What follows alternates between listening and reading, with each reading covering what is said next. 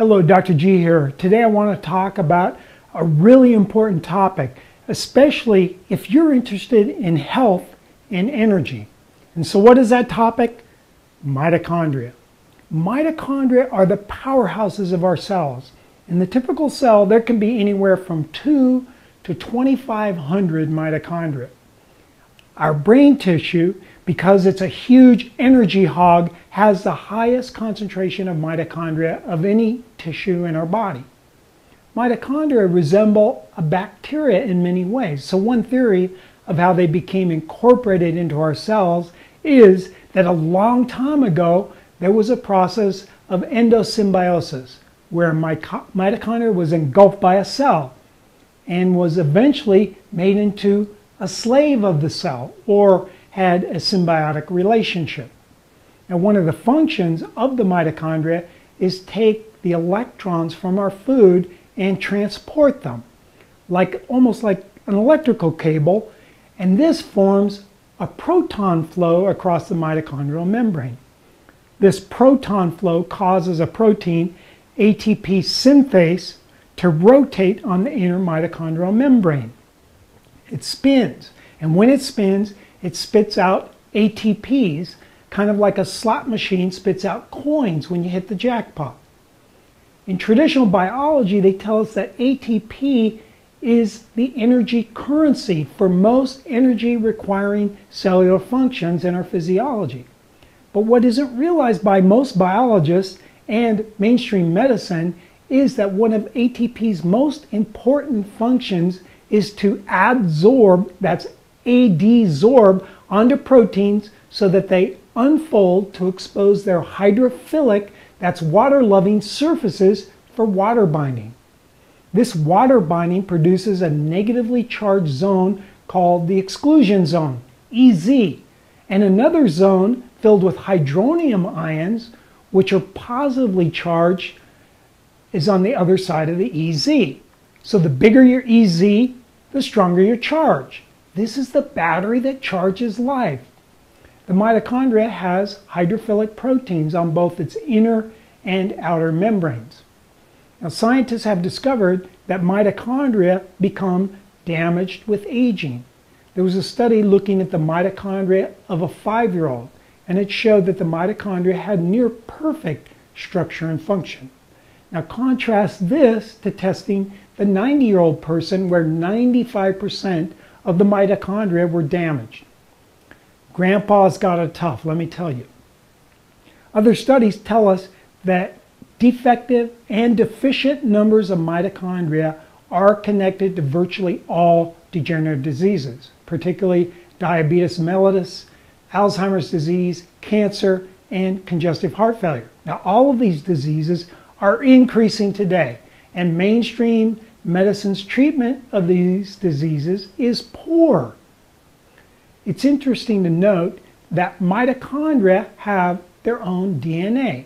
Now, this DNA in the mitochondria codes for proteins that are contained within the mitochondria.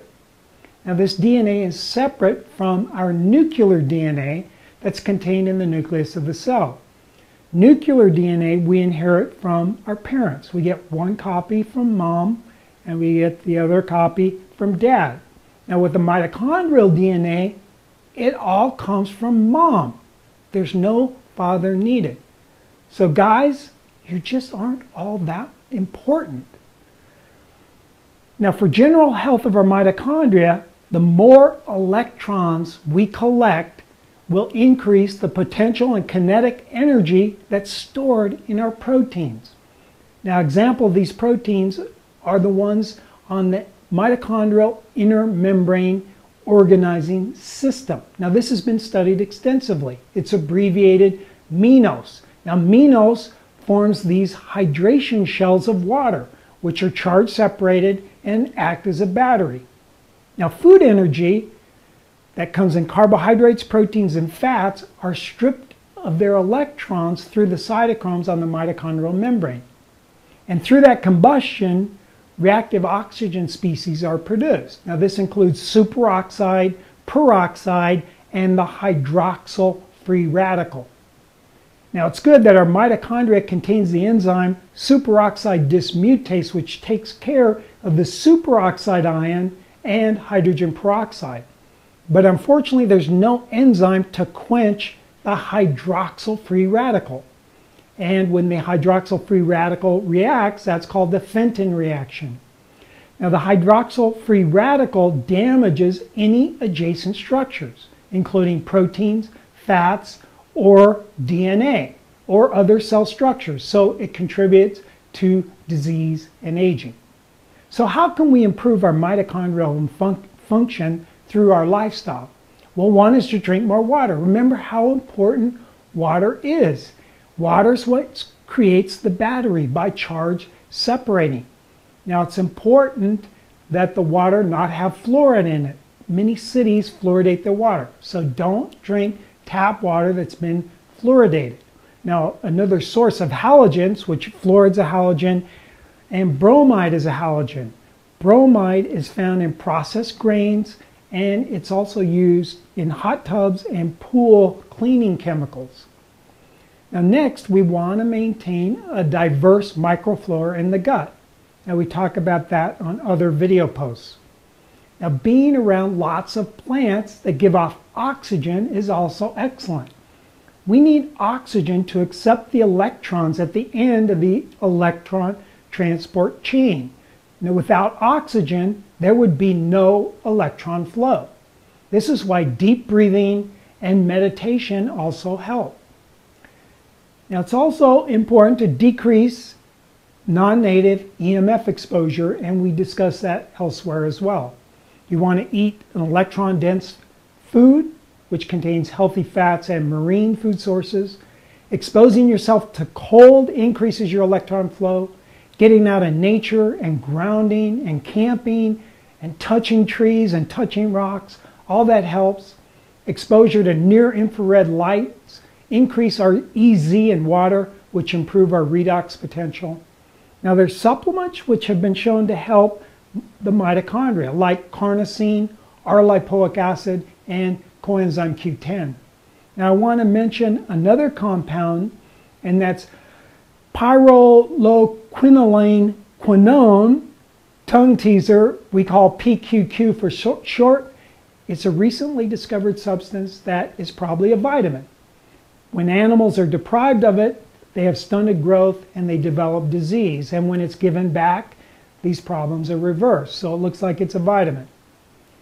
Now this is found in some uh, or many fruits and vegetables. The PQQ molecule is involved in electron transfer, transfer in the mitochondria and it has the advantage of being extremely stable. It's an extremely stable molecule, so it's not affected by reactive oxygen species. Now, experimentally, it's been shown to stimulate the growth of brand new mitochondria through activation of gene expression in the mitochondrial DNA. PQQ neutralizes superoxide and the hydroxyl free radicals I talked about a minute ago. It's also been shown to safeguard a gene whose malfunction has been related to an early step in the development of Parkinson's disease. Studies have shown that PQQ limits brain damage in stroke and heart attack models in animals. Other studies show it prevents the formation of amyloid beta structures, which are involved in Alzheimer's disease. Studies have been done supplementing PQQ at a dose of 20 milligrams a day in humans, showing improved cognitive function in middle-aged people, meaning your brain worked a little bit better. Your mitochondrial health is a common pathway for many of the neural and other degenerative diseases that we face that make our modern life a living hell. The most important thing for you to do now is start collecting electrons and evaluate your exposures to see if you're at risk for losing electrons to your environment. Now supplements like L-carnitine, R-alpha lipoic acid, coenzyme Q10, and now PQQ might be ways to mitigate the damage caused by a bad environment and the aging process. And this is an option to the side effect laden drugs that are often of little benefit for these degenerative diseases. This is Dr. G. Thanks so much for watching and please subscribe to our channel.